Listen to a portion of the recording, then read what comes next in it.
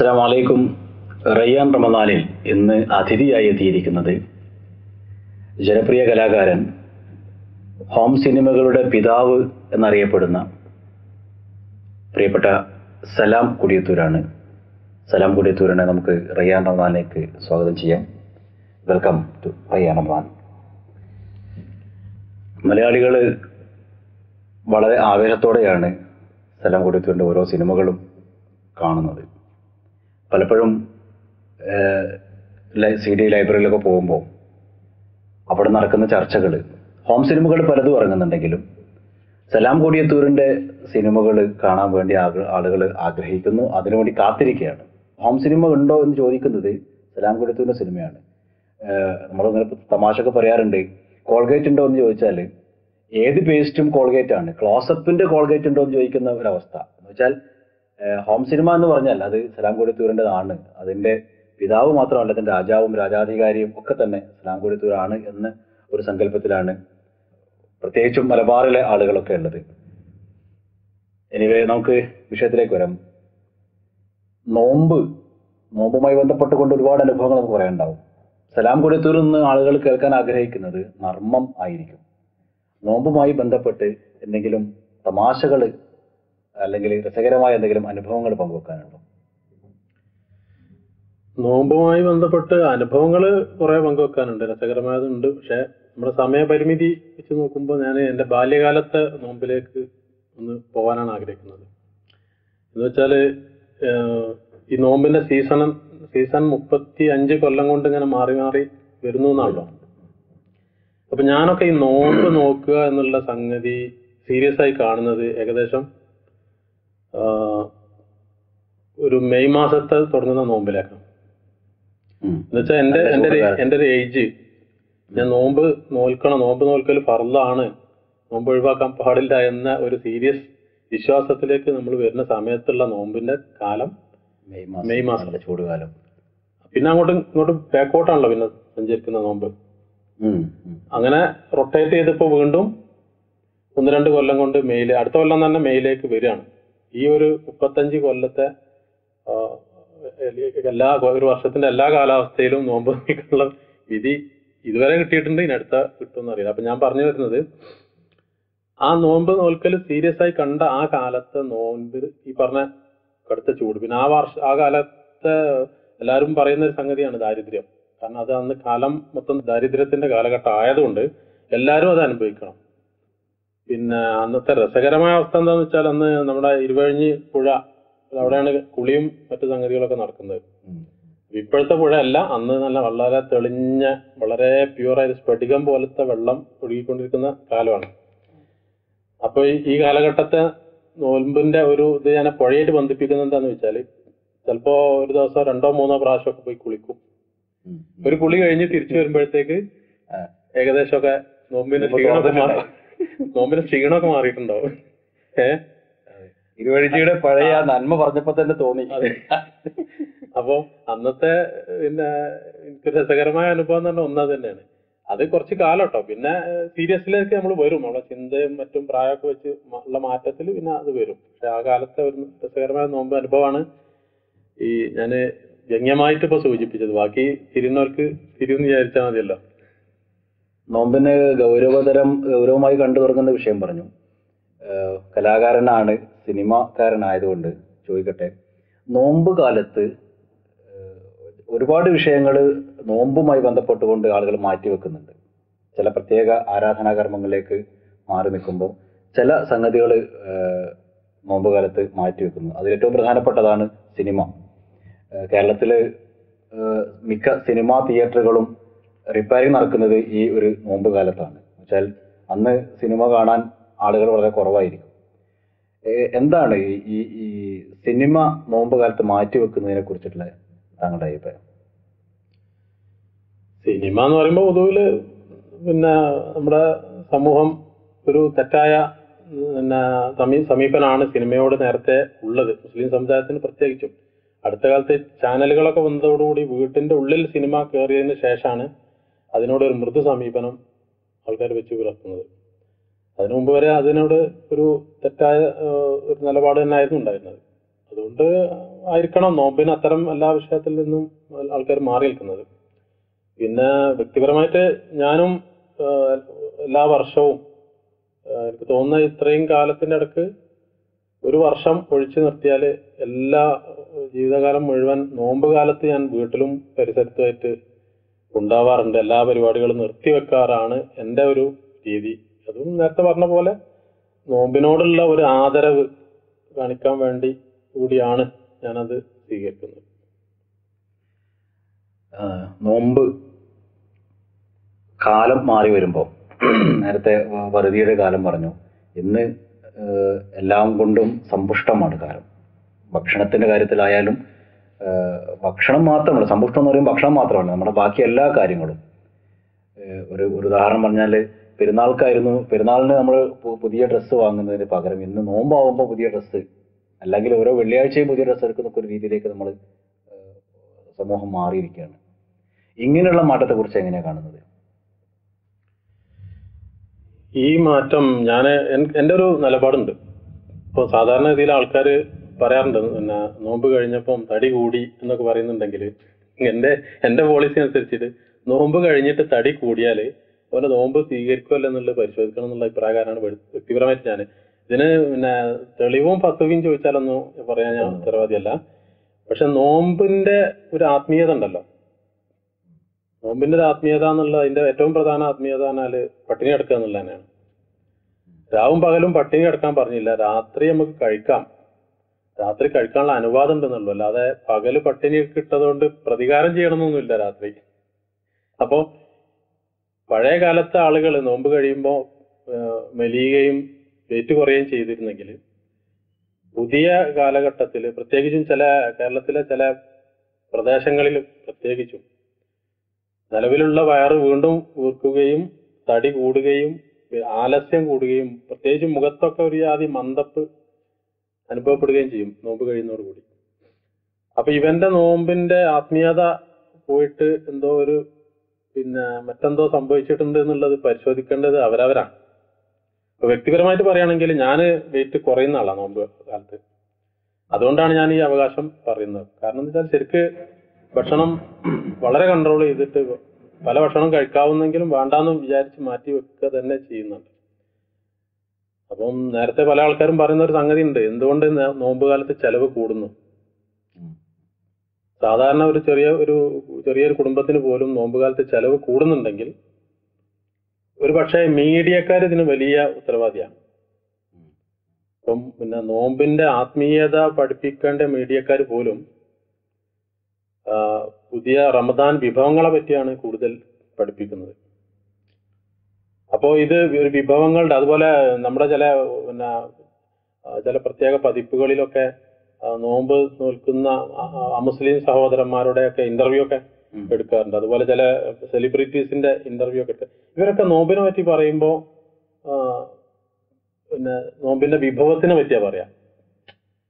അങ്ങനെ ഈ നോമ്പ് എന്ന് പറയുന്നത് കുറെ വിഭവങ്ങൾ ഉണ്ടാക്കി കഴിക്കേണ്ടതാണ് എന്ന് നമ്മളെയൊക്കെ അറിയാതെ പഠിപ്പിച്ചു കഴിഞ്ഞിട്ടുണ്ട് മീഡിയക്ക മീഡിയകൾ അപ്പോ ഇതിന്റെ ഇത്തരം കാര്യങ്ങളിലെ ഉത്തരവാദിത്വം ഇനിയെങ്കിലും മീഡിയക്കാർ മാറ്റണം എന്നാണ് വ്യക്തിപരമായിട്ട് ഈ സമയത്ത് എനിക്ക് സൂചിപ്പിക്കാനുള്ളത്.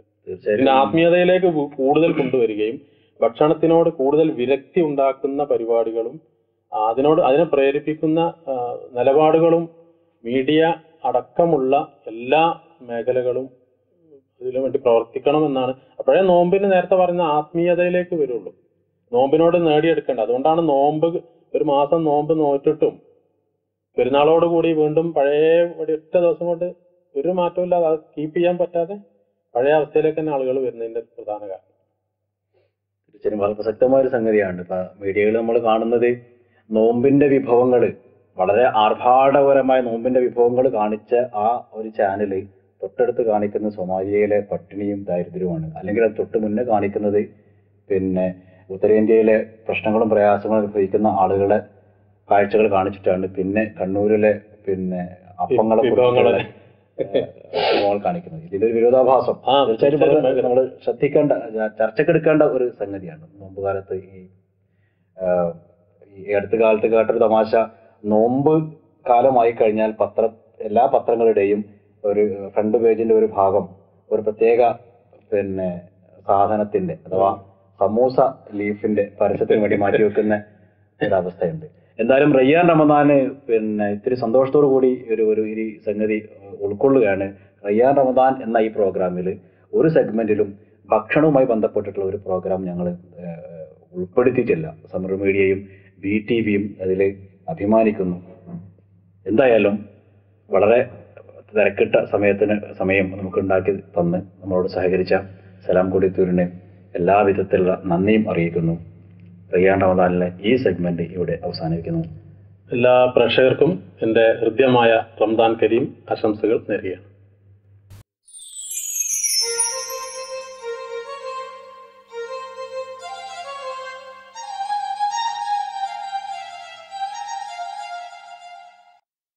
അസ്സലാമലൈക്കും റയ്യാൻ റമദാനിലേക്ക് സ്വാഗതം. മനസ്സെന്ന പൂവാടിയിലെ കളകൾ പറിച്ച്. സൗരഭ്യം വിടരുന്ന പൂച്ചെടികൾ നട്ടു നനക്കാൻ ആരും മറക്കണ്ട. മജ്ലിസ് റയ്യാനിലെ ആദ്യത്തെ ചോദ്യം പതിവ് പോലെ ടീം എയോട് ടീം എ റെഡിയല്ലേ ചോദ്യം ഇതാ. മദീനയിൽ വെള്ളക്ഷാമം ഉണ്ടായപ്പോൾ പ്രവാചകന്റെ അഭ്യർത്ഥന മാനിച്ച് യഹൂദിയുടെ കിണർ വിലക്ക് വാങ്ങി പൊതുജനത്തിന് സൗജന്യമായി സമർപ്പിച്ച സ്വഹാബി ആരാണ്?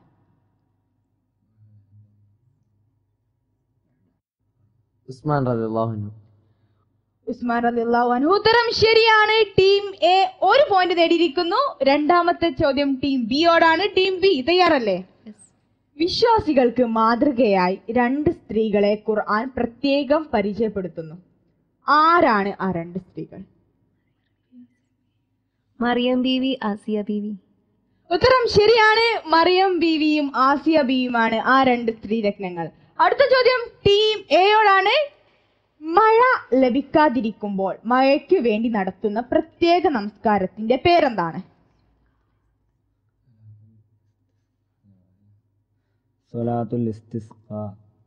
സലാത്തുൽ ഉത്തരം ശരിയാണ്. ടീം എ രണ്ട് പോയിന്റ് നേടിയിരിക്കുന്നു. അടുത്ത ചോദ്യം ടീം ബിയോടാണ്. ടീം ബി തയ്യാറാവും? ഇസ്മായിലിന് വെള്ളം തേടി ഹാജറ ബീവി രണ്ട് കുന്നുകൾക്കിടയിൽ ഓടുകയുണ്ടായി. ഏതാണ് ആ രണ്ട് കുന്നുകൾ? സഫ മർവ. സഫ മർവ ഉത്തരം ശരിയാണ്. അങ്ങനെ ഈ എപ്പിസോഡിൽ രണ്ട് ഇരു ടീമുകളും രണ്ട് പോയിന്റ് വീതം നേടിക്കൊണ്ട് വിജയികളായിരിക്കുകയാണ്. ഒരു നല്ല ഗാനം ആസ്വദിച്ചുകൊണ്ട് ഈ സെഗ്മെന്റ് അവസാനിപ്പിക്കാം.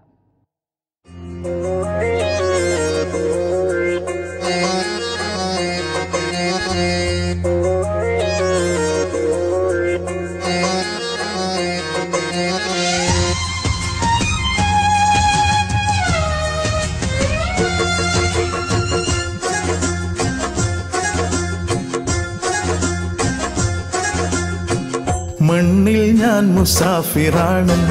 മനസ്സിൽ എന്നും ഫിക്റാണ്. മണ്ണിൽ ഞാൻ മുസാഫിറാണ്. മനസ്സിൽ എന്നും ഫിക്റാണ്.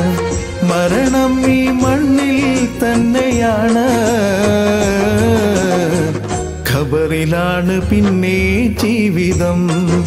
അല്ലാ ഓർക്കുമ്പോൾ നീറും കൽവകം ഖബറിലാണ് പിന്നെ ജീവിതം. അല്ലാ ഓർക്കുമ്പോൾ നീറും കൽവകം. മണ്ണിൽ ഞാൻ മുസാഫിറാണ് മനസ്സിൽ എന്നും ഫിക്കറാണ്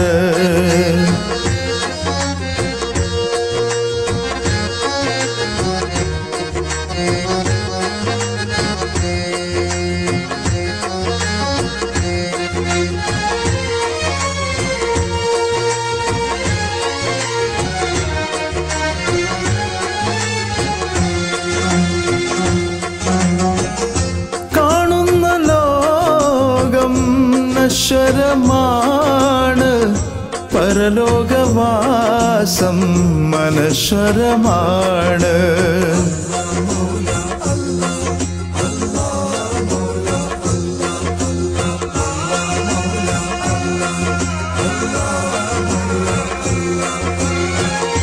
കാണുന്ന ലോകം നശ്വരമാണ്.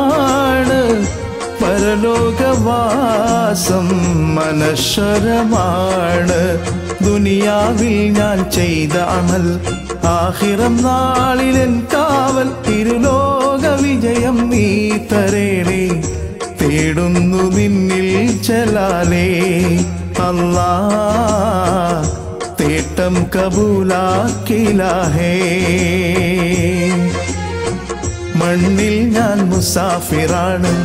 മനസ്സിൽ എന്നും ഫിക്റാണ്.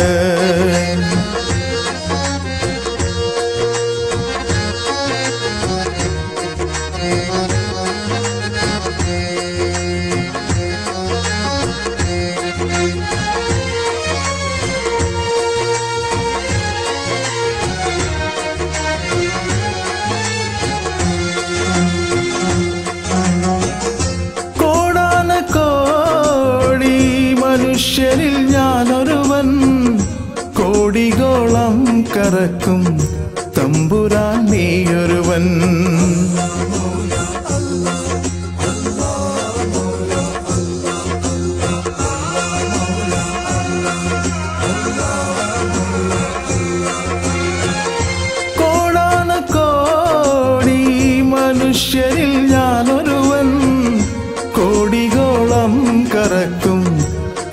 തമ്പുരാൻ നീയൊരുവൻ ജീവിതയാത്രയിൽ ഞാനേകൻ.